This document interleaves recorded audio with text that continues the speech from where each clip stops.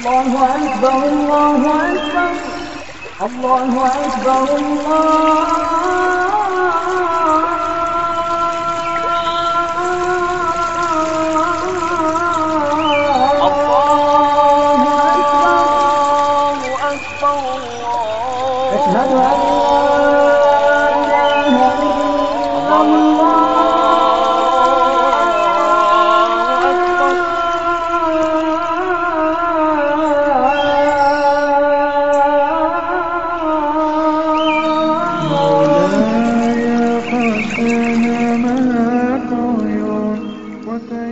Islamska internet stranica Minber وحماك أبغي يا إلهي راجيا منك الرضا قل هذه سبيلي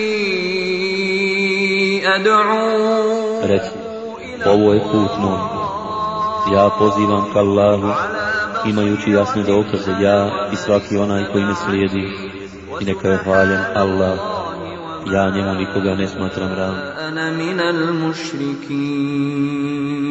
Islamska internet stranica Minber. Minber. طير في الربا أو لاح فجر كلما فتح زهر أو سرى في البحر ولتكن منكم أمة يدعون إلى الخير Neka među vama bude oni koji će na dobro pozivati i tražiti da se čini dobro, a od zla odrećati. Oni će šta žele postići.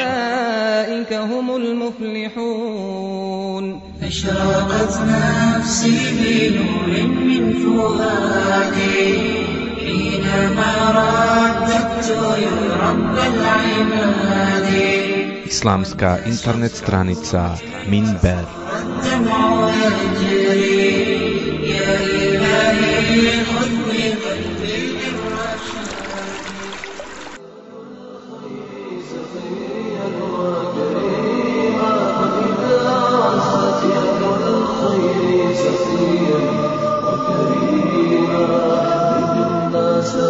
بصدق وانشر الخير العظيم. من يحب الخير للناس ينال أجرا عظيما حورا ورحيما. كن تقيا وكريما. كن غفورا ورحيما.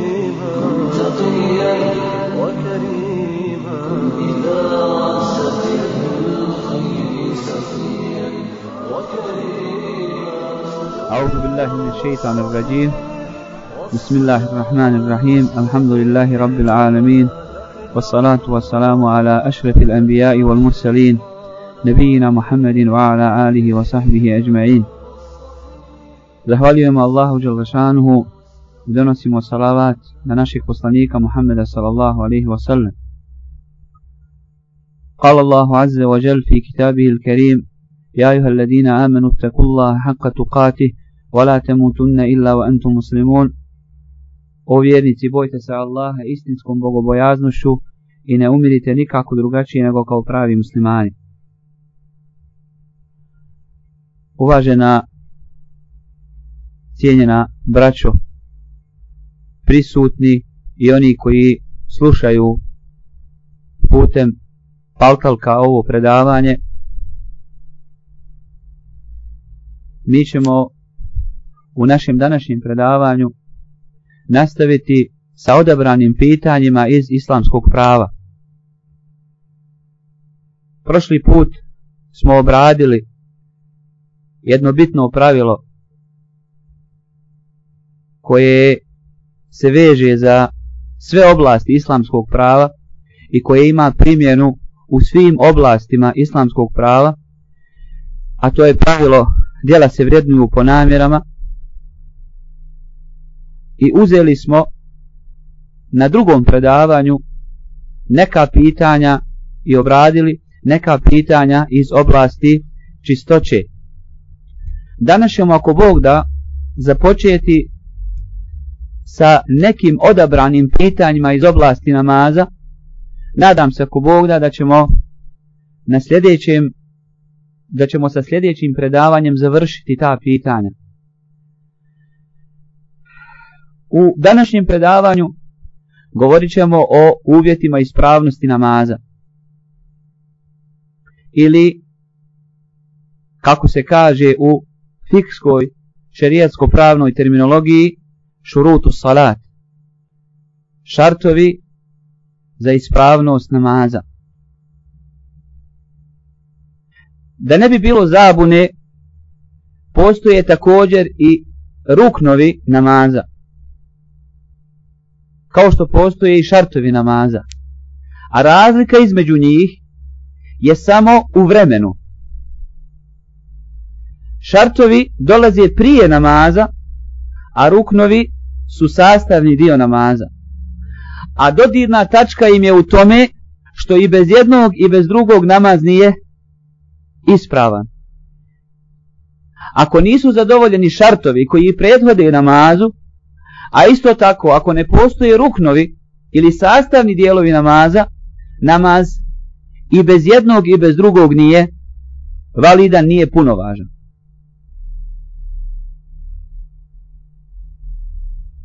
Šartovi namaza poznato vam je dobro po različitoj svakako terminologiji, po različitoj povoli ima ih šest. Ili ako jedan od njih, ako dva od njih spojimo u jedan, dobit ćemo pet. A to su čistoća, pravna i stvarna, dakle pravna, a to je abdest ili gusul, i stvarna čišćenje od onoga što je fik, odnosno islamsko pravo ili što je ova vjera okarakterisala fizičkom ili stvarnom nečistoćom što se mora otkloniti sa tijela, sa odijela i sa mjesta na kojem se obavlja namaz. E, ovdje imamo dakle dvije vrste čistoće i one su spojene u jedan šart, a mogu se razdvojiti.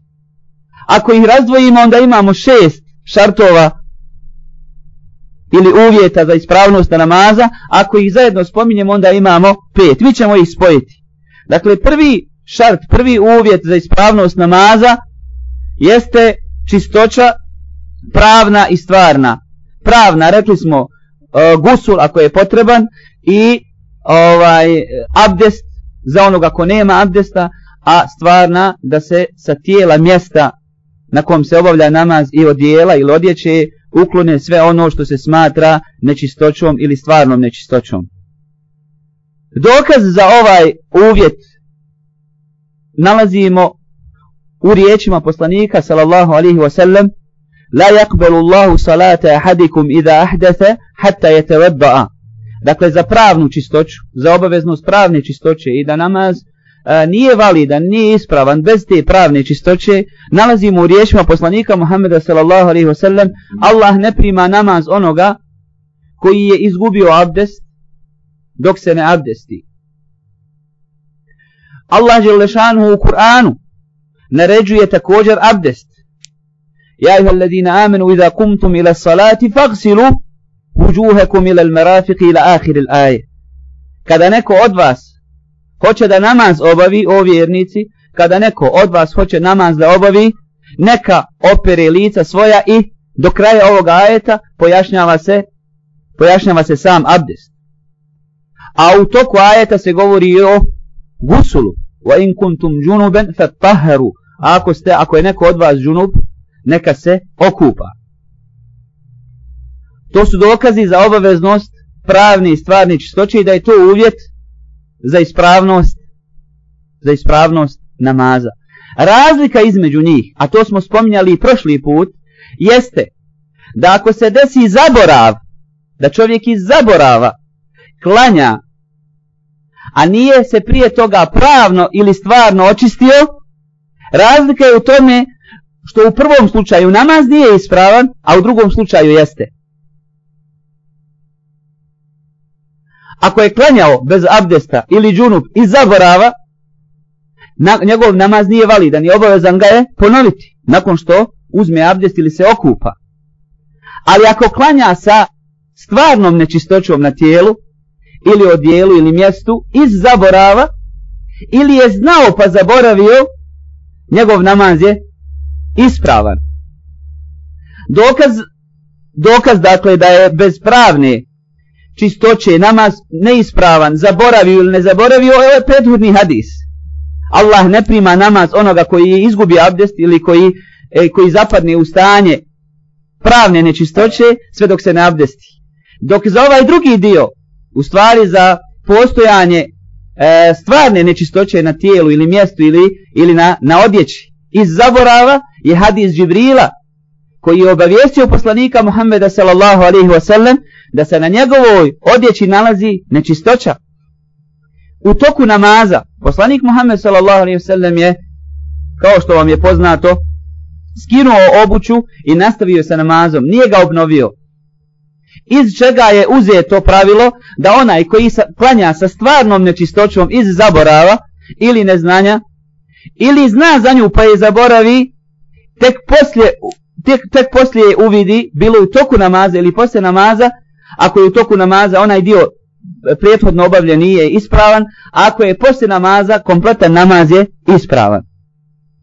To je razlika između između ova dva slučaja, a razlika je napravljena na osnovu na osnovu hadisa koji su došli po tom pitanju. Ako na tijelo, na odjeću ili mjesto a, dođe neznatna količina nečistoće, ona se toleriše. Bilo da je to mokraća, bilo da je krv, bilo koja druga vrsta stvarne nečistoće koja dospije na jedno od ovo troje, nešto što se ne može izbjeći, dakle količina koja se ne može izbjeći, koja, koju čovjek ne može pratiti. Zašto? Zato što je vjera islam vjera olakšavanja, a ne otežavanja. I kada bi ljudi bili zaduženi da, da prate i najmanju količinu nečistoće i da se od nje čiste, onda bi to bilo otežanje, a otežanje kojeg ljudi ne bi mogli izdržati i prihvatiti, a islam je došao da otklone onu tegobu i teškoću koju ljudi ne mogu, ne mogu izdržati i podnijeti. Jer imaju dvije vrste tegobe ili teškoće. U osnovi svako djelo, svaki ibadet koji je propisan u sebi ima jedan vid poteškoće. Namaz se ne može obaviti bez poteškoće. Zim je hladna voda, izjutra treba ustati, čovjeku se spava, zeka treba dati od duše koja voli imetak, post treba se odreći nekih užitaka ili ovaj nečega što je mimo posta dozvoljeno, sve to ukazuje da ti ibadeti u sebi u osnovi imaju jedan vid teškoće koji se mora podnijeti. Zašto? Da bi se dobila Allahova Đelešanu nagrade zaslužio njegov oprost. Ali kada ta teškoća pređe neki uobičajeni vid, pređe iz, iz, iz domena, pređe domen i, ovaj, kojeg čovjek može izdržati, onda dolazi olakšanje. Onda Allah Đelešanu u takvoj situaciji prašta ono što se nije moglo iznijeti u toj teškoći i tegobi. Drugi uvjet za ispravnost namaza je vrijeme. Allah Đelešanu kaže Inna salata kaneta lal mu'minina kitaban mawquta. Namaz je vremenski određena obaveza vjernika. A u hadisima se navodi da je Džibril a.s. došao i pojasnio poslaniku Muhammedu sallallahu alaihi wasallam vremena namaza. Pa je dolazio u prvo i zadnje vrijeme. I kada je klanjao nekoliko dana poslaniku Muhammedu sallallahu alaihi wasallam rekao mu je namaz je između ova dva vremena. čime je odredio početak i kraj namaskog vremena. I u drugim hadisima, mimo ovog hadisa, hadisima koji se bilježe u najvjerodostojnijim zbirkama, poslanik Muhammed sallallahu alaihi sallam određuje početno i završno vrijeme svakom od namaza i podnje i kindiji i akšamu, jaci i sabah namazu. Što se tiče sabahskog vremena, ono počinje sa pojavom prave zore, pošto ima lažna i prava zora, sa pojavom prave zore i traje sve do izlaska sunca. Podnije namaz počinje sa prelaskom sunca polovine neba ili nakon što pređe zenit i počne se naginjati ka ka zapadu i traje sve dok čovjekova sjena bude koliko? E, odlično. Dakle, duplo veća od predmeta ili objekta. Od, od tog vremena počinje i Kindija i traje sve do zalaska sunca. Akšam od zalaska sunca pa do nestanka rumenila i jacijsko vrijeme traje od tada pa do pola noći. S time da je bitno naglasiti da i kindija namaz i jacija namaz imaju dva vremena. I kindija namaz ima odabrano vrijeme i prinudno vrijeme, vrijeme u kojem je dozvoljeno samo pod prinudom obaviti namaz. A to je nakon što sunce dobro požuti pa do zalaska sunca. Odabrano vrijeme je od početka i kindijskog vremena pa do, do tog vremena dok sunce u potpunosti požuti i bude jarko žuto. Nakon toga pa sve do zalaska traje period vaktu darure. E, prin, vrijeme u kojem je samo u prinudi ili u specijalnim okolnostima dozvoljeno obaviti ikindiju. Nije dozvoljeno namjerno odgoditi ikindiju do tog vremena. Takav je slučaj i sa jacijom. Jacija ima vaktu lihtijar, odabrano vrijeme sve do ponoći. Nakon ponoći nastupa vrijeme darure ili vrijeme prinude i traje sve do do pojave prave zore. U tom periodu je dozvoljeno klanjati iz opravdanog razloga. Kao što je bolest, umor, desi se da osoba prespava i slično tome.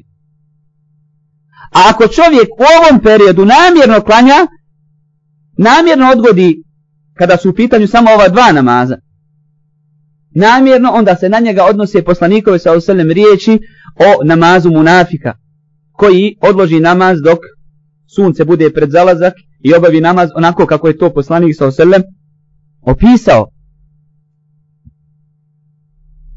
Dakle, i kindija i jacija namaz imaju odabrano vrijeme i prinudno vrijeme, vrijeme prinude u kojem je dozvoljeno samo u specijalnim okolnostima obavljati, obavljati namaz.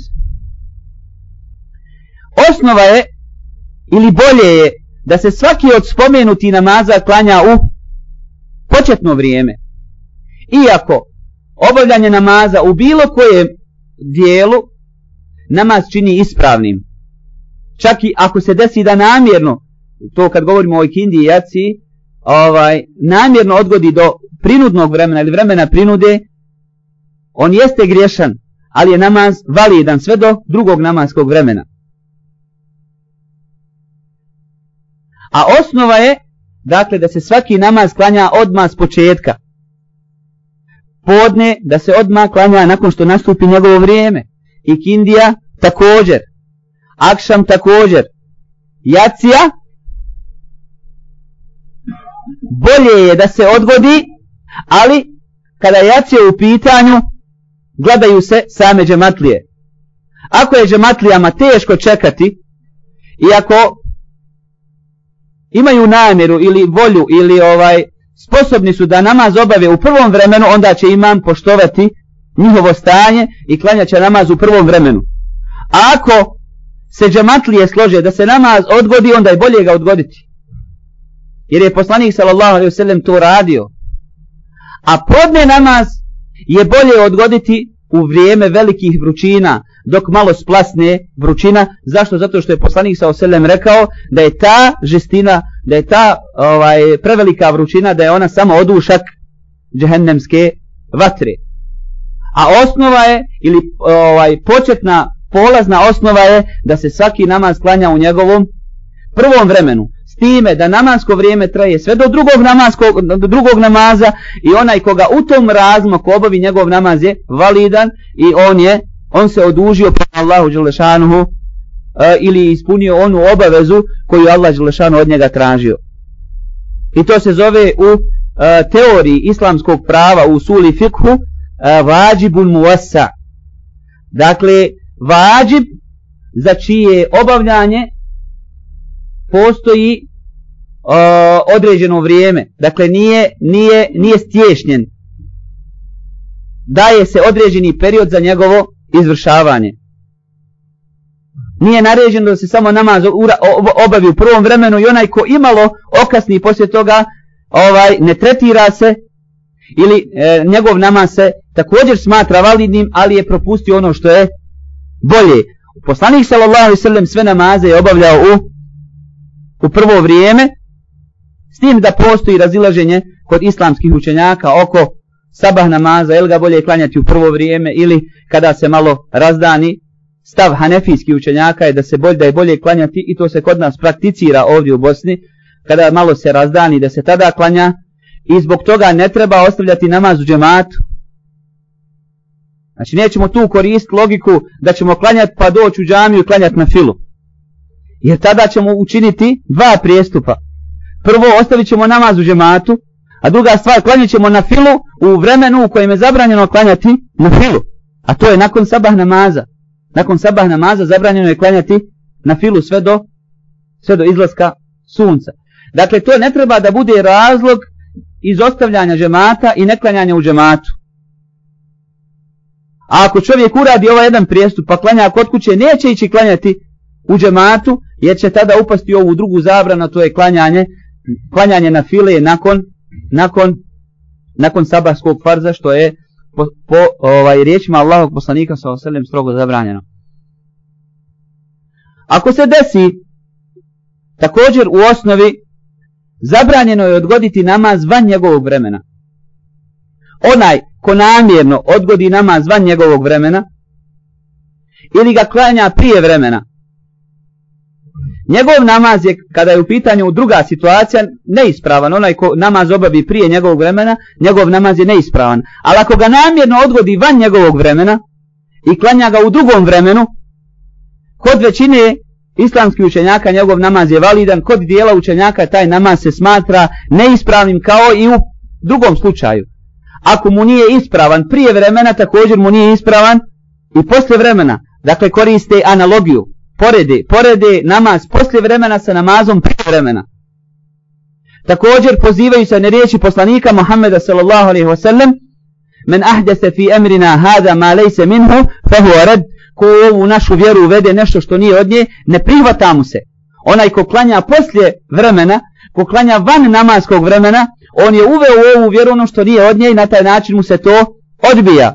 Ali kažem, većina učenjaka, u koje, u koje se svrstavaju i četvorica imama ili četiri pravne škole, smatraju da je taj čovjek i pored toga što je grešan obavezan nadoknaditi tu taj namaz i njegov namaz se smatra ispravnim. Kod dijela učenjaka, među kojima je Ibn Tejmi i Ibn Hazm, neki današnji učenjaci, taj namaz nije validan i ne može ga naklonjati kada bi čitav život činio na filu i ibadetio onaj ko namjerno ostavi namaz, ne može ga naklanjati po mišljenju ovih učenjaka. Dakle, radi se o opasnoj stvari, o namjernom ostavljanju namaza i ovaj odgađanju van njegovog vremena, a tome se prijeti i u Kur'anu. Allah Želešanu kaže فَوَيْلُ لِلْ مُسَلِّينَ الَّذِينَ هُمْ عَنْ صَلَاتِهِمْ سَهُونَ Teško se klanjačima koji svoj namaz koji su nemani prema svome namazu, kao što se navodi u komentaru tog ajeta, to jest onima koji namaz odgađaju van njegovog vremena i klanjaju ga u vremenu koji nije za njega propisan i određen. Ali je namaz dozvoljeno odgoditi iz opravdanog razloga. Odgoditi ga do drugog vremena. Kao što je spajanje.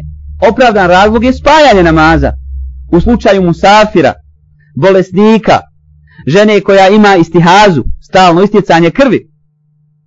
I sličnim slučajevima dozvoljeno je odgoditi podne do vremena ikindije i spojiti u ikindijskom vremenu, kao što je dozvoljeno ikindiju pomjeriti u podnevsko vrijeme, pa spojiti u podnevskom vremenu, tako također dozvoljeno je odgoditi akšam do jacijskog vremena i spojiti u jacijskom vremenu, a i pomjeriti jaciju u akšamsko vrijeme i spojiti u akšamskom vremenu. A nije dozvoljno spojiti jaciju sa sabahom, niti sabah sa podnje namazom. Spajanje dakle između podnje i kindije i akšama i jacije. Odgoditi se namaz može također iz e, drugih e, opravdanih razloga, kao što je pomoć čovjeku. ako će klanjanje namaza u njegovom vremenu dovesti do toga da će osoba izgubiti život, kao što je u slučaju davljenja osobe, spašavanja a, ljudi u zgradama u kojima se desio požar, ako će dovesti do ovaj e, do, do, do uništavanja života, u tom slučaju je dozvoljeno odgoditi namaz van njegovog vremena i spasiti život. Zašto? Zato što je što se ovo drugo ne može odgoditi. A namaz je u takvim situacijama zabilježeno je da je odgađan. I da ga je poslanik sallallahu alejhi ve sellem odgodio u jednoj od bitaka kada je bio u borbi i zbog zbog ovaj zbog žestine borbe odgodio je namaz prošlo je vrijeme i tek je u akšamskom vremenu klanjao i kindiju. Postavlja se pitanje da li je dozvoljeno odgoditi namaz van njegovog vremena zbog okolnosti u školi ili na poslu. Što je jedno od novonastalih pitanja. Da li se može svr svrstati u ovu kategoriju potreba zbog kojih je dozvoljeno odgoditi namaz? Ili u skandinavskim zemljama poznato je da da je između sabaha i jacije jako kratak period. Nekada se zna dogoditi da je samo dva sata razlike. Što je veliko opterećenje za ljude koji moraju ići na posao. Pa su postavili pitanje uglednim i velikim učenjacima da li im je dozvoljeno da nekad spoje namaz. Da klanjaju akšam i jaciju, da spoje u akšamskom vremenu, da, spaje, da spavaju kako bi se mogli odmoriti. Da ne čekaju jaciju do 11, do pola 12 i da se onda odma ustaju na sabah u 1 ili pola 2. Dobili su fetvu od nekih uglednih učenjaka da im je to dozvoljeno, ali ne uzeti za praksu, nego u određenim situacijama ili ponekad to uraditi. Kako bi olakšali sebi. A e, nisu im dozvolili učenjaci da to uzmu za stalnu praksu jer bi time narušili jedno načelo kada je u pitanju namaza, to je obavljanje namaza u njegovom, njegovom vremenu. Gdje, o, gdje su učenjaci za, takav, za takvo i slično opravdanje našli dokaz? Našli su dokaz u hadisu Abdullah ibn Abbasa kojeg je zabilježio ima muslim u svome sahihu u kome kaže Abdullah ibn Abbas da je poslanik s.a.v. sedam ili osam dana u Medini spajao podne sa ikindijom i akšam sa jacijom, a nije bio na putu i nije bilo kiše. A u, drugom, u drugo, drugoj, uh, drugoj verziji se kaže da nije bio na putovanju i da nije bio, da to nije bio namaz u strahu. Jer je u strahu je propisana određena forma koja se razlikuje od, od normalnih okolnosti. Kaže, kada je upitan Abdullah ibn Abbas zašto je to uradio, rekao je erade Allahu harrija ala ummetihi. Nije htio time otežati svome ummetu, nije ga htio dovesti u tešku situaciju.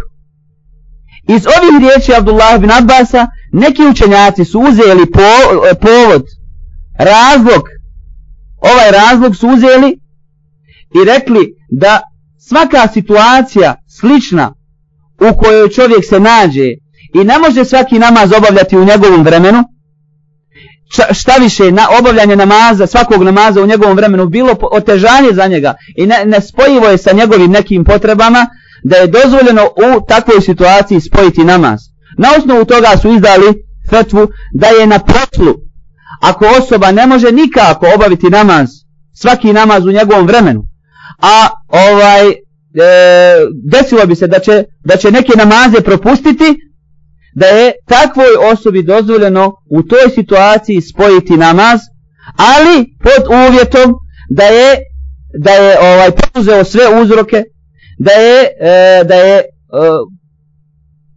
razgovarao sa administracijom, sa upravom o, o, ovaj, o svojim nekakvim vjerskim potrebama, o vjerskim obavezama i nije, nije prihvaćenja njegova molba, da je iskoristio sva dozvoljena sredstva da e, namaz može obavljati u svome vremenu i nije naišao na razumijevanje, tek tada mu se dozvoljava određeno vrijeme ili u određenim, ovaj, e, određenom vremenskom periodu da namaz spaja. Tako je i sa učenicima u školi i zato postoje fetve od islamskih učenjaka na osnovu ovoga hadisa od Abdullaha ibn Abbasa. E, još jednom napominjemo, dakle, to se ne smije uzeti za stalnu praksu, nego to može biti samo neka privremena mjera, a dok čovjek ne postigne bolje uvjete, bilo za rad ili školovanje. U kontekstu govora o vremenu kao uvjetu za ispravnost namaza, spomenut ćemo jedan hadis kojeg bilježe imam Buharija i Muslim, a u kome se kaže Men edreke rekat mine salati fekad edreke as salat. Ko stigne obaviti jedan rekat od namaza, taj je stigao klanjati namaz. Iz ovog hadisa islamski učenjaci su shvatili nekoliko bitnih propisa. Prvo, prvi propis jeste da onaj koji stigne klanjati rekat od nekog namaza prije nego što mu prođe vrijeme, on je stigao klanjati taj namaz. Ako stigne klanjati manje od toga, nije stigao klanjati taj namaz u njegovom vremenu. Drugi propis kojeg su razumjeli jeste da onaj koji stigne klanjati jedan rekat za imamom ima ima nagradu namaza u džematu i on je stigao na namaz u džematu iako oko ovoga postoji razilaženje al hadis svojim vanjskim značenjem upućuje na to da je potrebno za imamom stići najmanje jedan rekat da bi se stigao klanjati namaz u stvari da bi se stigao da bi se dobila ta nagrada koja se obećava za namaz namaz u džematu.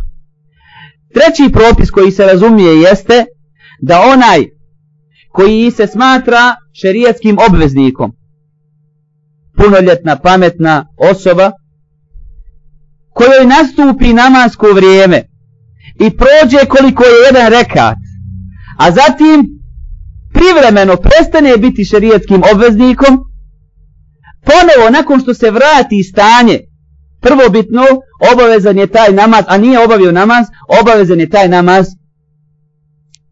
Taj namaz ostaje obaveza za njegovim plećima i obavezan ga je ob, e, klanjati.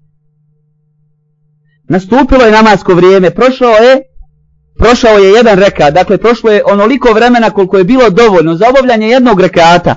Osoba nije ta, ta osoba nije obavila namaz. Ali je prošlo toliko namaskog vremena. Zatim se dogodilo nešto što, što mu privremeno oduzima karakter obvez, ob, obveznika, prav, o, o, pravnog obveznika, mukellefa, nakon što prođe to opravdanje, on je obavezan izvršiti taj namaz. Kao što je žena koja dobije hajz ili nifas, nakon što je od namaskog vremena prošlo, koliko?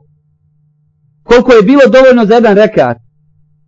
Zatim prođe to opravdanje, prođe hajz ili nifas, taj namaz ostaje ostaje obaveza koju mora izvršiti. A ako ne prođe, ako prođe manje od toga, nije obavezna izvršiti tu obavezu. Dakle, u slučaju žene ili osobe koja padne u nesvijest ili se dogodi nešto vanredno, dakle, zbog čega prestane biti šerijetskim obveznikom.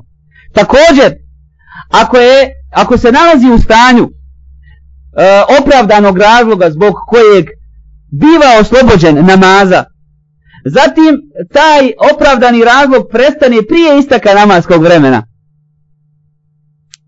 Prije isteka podne.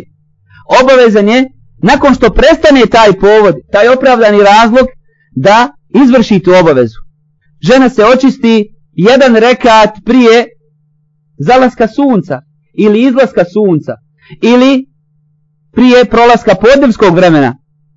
Očisti se, obavezna je klanjati podne ili ikindiju ili jaciju ili sabah, zavisno u kom se vremenu očisti. Ako se očisti u ikindijskom vremenu, po ispravnom mišljenju, obavezna je obaviti samo ikindiju. A ne i podne ikindiju, iako se podne i ikindija spajaju. Zašto? Zato što je poslanik sa oselem rekao men edreke rekaten minel asri fekad edreke asr. Ko dostigne ko stigne obaviti jedan rekat ikindije, on je stigao obaviti ikindiju, nije rekao stigao je obaviti ikindiju i podne, pa da bi isto ga shvatili da mora klanjati i podne i ikindiju. Tako je i sa jacijom. Ako se očisti u jacijsko vrijeme, ako se očisti u jacijsko vrijeme, ispravno je mišljenje da je obavezna klanjati samo jaciju i da nije obavezna klanjati i akšam, jer je akšamsko vrijeme prošlo, a nije prošao povod zbog koji je bilo dozvoljeno ostaviti namaz. Dakle, povod je nestao tek u jacijskom ili ikindijskom vremenu. Iako ima učenjaka koji kažu da je kada je u slučaju kada je u pitanju ikindija obavezna klanjati i ikindiju i podne, a kada je u pitanju jacija i akšam i jaciju i akšam. Ali je ispravno mišljenje ako se žena očisti ovaj u ikindijskom vremenu da je obavezna klanjati samo ikindiju i u akšamskom samo akš, uh, u jacijskom samo jaciju. Ako se desi da osoba odgodi namaz van njegovog vremena iz opravdanog razloga, prespava, zaboravi, nakon što se sjeti, nakon što se probudi, taj namaz treba klanjati. Na osnovu riječi poslanika Muhammeda sallallahu alaihi wa sallam, men name ani salati, evo nesijeha fel yusalliha iza zekeraha, lejse lehu kefaretun illa dalik. Ko prespava namaz ili ga zaboravi, neka ga obavi kada se sjeti ili kad se probudi i to mu je kefaret, to mu je iskup za, za, njegovo, za njegov zaborav ili prespavljivanje. I isto će obaviti, u istoj formi će obaviti namaz kao da ga obavlja u njegovom vremenu. Ako je od namaza u kojima naglas uči, ući će naglas, pa makar to bilo po danu. Ako je od namaza u kojima se uči u sebi, ući će u sebi, pa makar to bilo na veće. Zaboravio sabah namaz i sjetio se u jaciji. Ući će naglas, jer se sabah, u sabah, na sabahu se uči naglas. Ako ponavljaju u džematu ili ako klanja sam. Ako je zaboravio podne i sjetio se u jaciji, ući će u sebi. Obrnuto, ako je zaboravio akšam i sjeti se u podne namazu, da je od prethodnog dana zaboravio akšam, uči će na glas, iako klanja po danu. Zašto? Zato što poslanik sa oseljen kaže, neka ga klanja kad se sjeti, to jest neka klanja isti onaj namaz kojeg je zaboravio i kojeg je prespavao. Na isti način, poslanik sallallahu alaihi wasallam također, to je jedan dokaz, drugi dokaz, poslanik sallallahu alaihi wasallam je prespavao sabah nama zajedno sa svojim ashabima, a zatim je, nakon što je sunce izišlo, predvodio ashabe u džematu i učio je, učio je na glas. Napravio je džemat, klanjao sunnet, klanjao je poslije toga farz i učio kao što se spominje u hadisu Ebu Katade radijallahu anhu.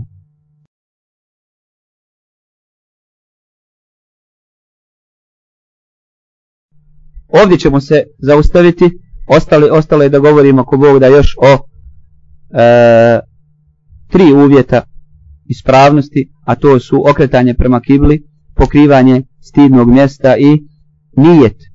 To ćemo ako Bog da odložiti za sljedeći put,